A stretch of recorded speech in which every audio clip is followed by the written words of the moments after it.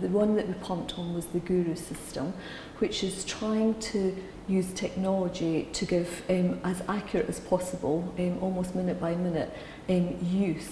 of, of energy through district heating systems so that um, uh, both the provider themselves can charge appropriately and um, it can inform uh, individuals um, in terms of how they use energy in their home to make savings and to think about the best way um, to use it for them. So, so I think we thought that you know this was really kind of helpful on both sides, both for the provider and for the, um, the resident using the technology.